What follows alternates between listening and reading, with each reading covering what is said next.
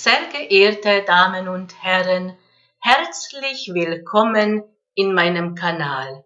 Ihre Dendera Susanna Medici.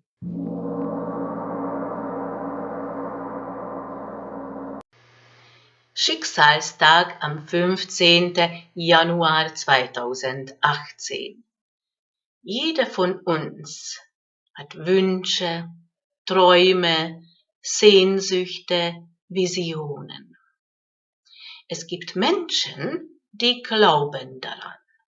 Sie setzen das als Ziel und sie erreichen auch ihre Ziele, weil sie verlieren diese Glauben nicht und sie sind davon überzeugt, dass sie das auch erreichen. Diese Menschen sind erfolgreich im Leben.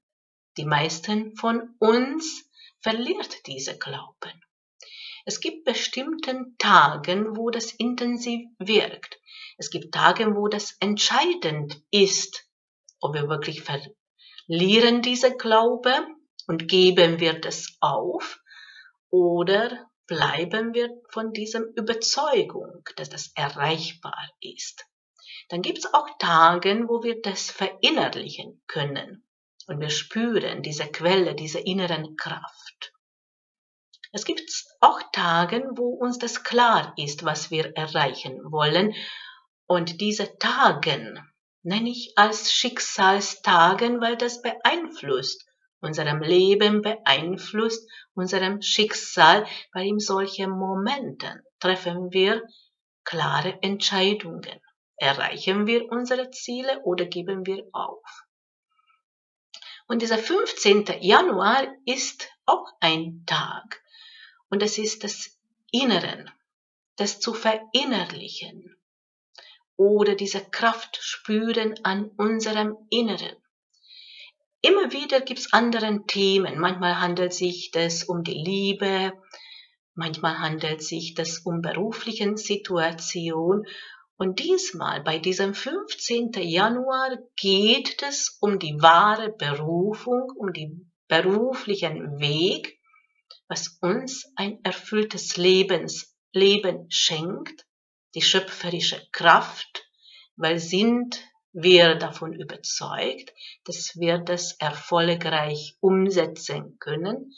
Thema kann auch ein Auslandsaufenthalt sein, der Wunsch im Ausland zu leben oder ein Studium. Diese drei sind gerade die Themen. Berufung, Ausland, eine Reise oder im Ausland zum Leben und ein Studium. Was unterstützt gerade dabei? Das ist die Partnerschaft. Der Partner oder Partnerin kann gerade eine gute Unterstützung sein, weil das motiviert uns. Gibt es Hindernisse? Ja, es gibt auch Hindernisse.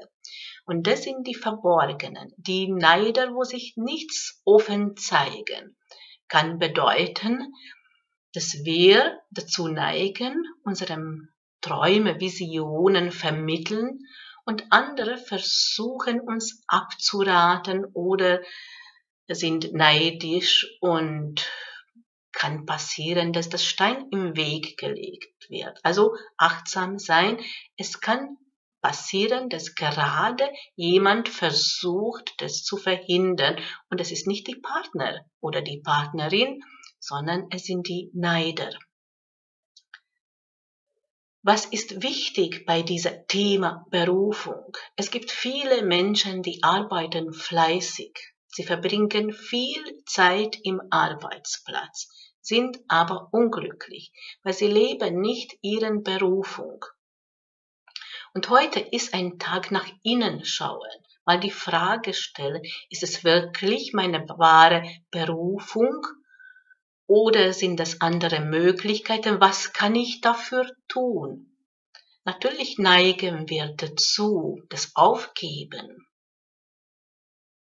Und dann erklären wir das auch. Ich habe die Ausbildung nicht ich bin zu alt dazu oder ich habe eine sichere Arbeit, das kann ich nicht aufgeben und jetzt etwas Neues starten.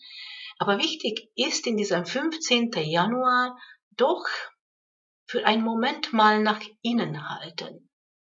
Wollen Sie Ihr ganzes Leben damit verbringen, unglücklich sein? Immerhin verbringt man viel Zeit im Arbeitsplatz oder lohnt sich das wirklich neu orientieren, weil die sind auch entscheidend. Dazu kommt noch etwas. Die Energie.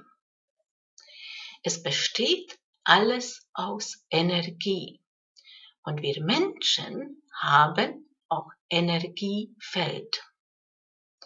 Und diese Energiefeld kommt von uns selbst, von unserem Inneren.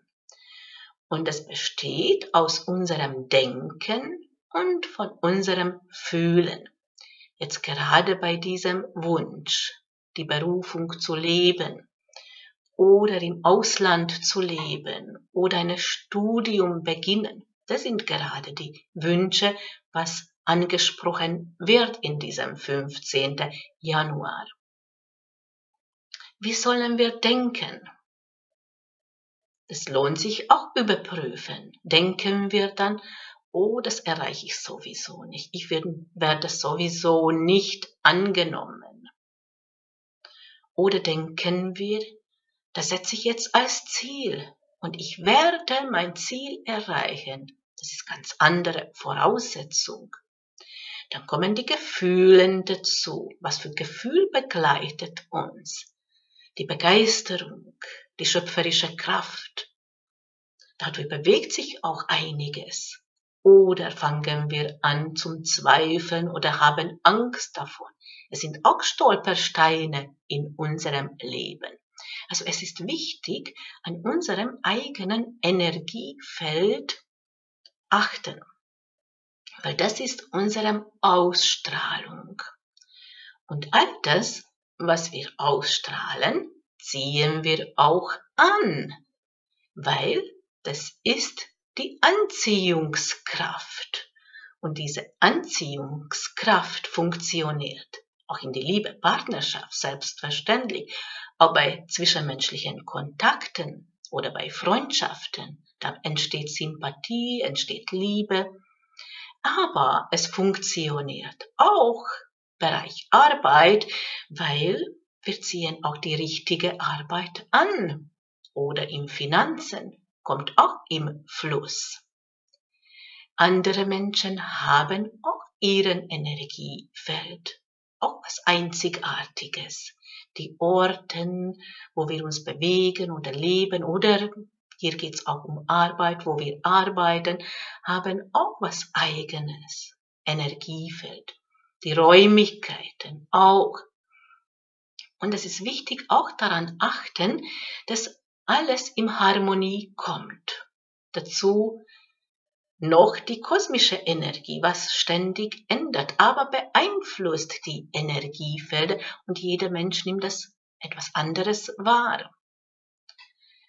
Und diese harmonisierende Wirkung, das können wir beeinflussen, beeinflussen. Viele Hilfsmittel gibt wie Töne, Musik, Klang, Rhythmus, Farben, Düfte, Halbedelsteine. All das kann harmonisierende Wirkung haben auf unserem Energiefeld, beziehungsweise unser Energiefeld kommt von uns selbst, aber die Verbindung muss stimmen, das harmonisiert das alles. Und dazu möchte ich etwas empfehlen. Also bei diesem 15. Januar geht es um Berufung oder Auslandsaufenthalt oder ein Studium. Bei jedem Neuanfang hilft die Ritualkerze die orangenen Farben, weil das zeigt auch die Sonnenkraft, die Begeisterung. Und es steht für Neuanfang. Also gerade wenn wir das vorhaben, beruflich zu verändern, das ist auch ein Neuanfang. Also wir können mit diesem Ritualkerze arbeiten. Dann gibt's auch Düfte, genau, die Ritualöl und ich empfehle diese Ritual. Öffne den Weg, die richtige Entscheidung treffen. Mit diesem Duftöl können Sie diese Ritualkerze bepinseln und dann brennen lassen. Oder diese Amulett. Das symbolisiert, das symbolisiert der Baum des Lebens, die Verwurzelung. Jetzt geht es um die Berufung, die richtigen Platz zu finden beruflich und da verankert zu sein. Und das können wir auch als Amulett tragen. Da empfehle ich auch dazu diese Duftöl, diese Ritualöl, weil wir können diese Anhänger auch bepinseln und das hat auch seine Wirkung. Wenn wir Klarheit bekommen möchten, da empfehle ich die goldenen Ritualkerze. Das hilft nicht nur bei Klarheit, sondern auch bei Finanzen. Dann gibt's auch Düfte. Dieser Duft hilft bei Entscheidungen, klare Entscheidungen zum, zum Treffen. Angenehmer Duft, das sind Räucherstäbe. Das können wir auch als Hilfsmittel benutzen. Oder weil ich erwähnt habe, das gibt es auch Neider, das kann passieren, dass ähm, jemand versucht, das zu verhindern oder gibt ein Rat, ist aber nicht gut gemeint und das verunsichert uns und dann neigen wir wieder dazu, unsere Träume, unsere Wünsche aufgeben. Also wir brauchen auch Schutz und das wird mh, hm, ab, das ist wie ein Abwehr von negativen Kräften. Das ist die Duft von Möhre. Und all diese Hilfsmittel befinden sich in meinem Shop unter www.tenderasusanna.medici.com. Ich kann das alles zusammensetzen, etwas empfehlen für bestimmte Themen, was noch auch sehr wichtig ist, welcher Augenblick, welcher Zeitpunkt, damit wir arbeiten. Die Amulette können wir natürlich immer tragen. Aber ein kleines Ritual vorzunehmen, wichtig ist auch die Zeitpunkt. Es gibt Tage, wo nichts wirkt. Und es muss alles ähm, abgestimmt werden und dazu benötige ich die Geburtsdatum, wenn das möglich ist mit Uhrzeit und Geburtsort. Und ich berechne das, welcher Augenblick, welcher Tag ist unterstützend, weil das passt auch die kosmische Energie dazu. Bei Bestellungen bekommen Sie einen Termin gratis. Und nicht vergessen, immer im richtigen Augenblick, im richtigen Ort zu sein. Und mit diesen Worten verabschiede ich mich. Ich bedanke mich für das Zuschauen. Mein Name ist Dendera Susanna Medici.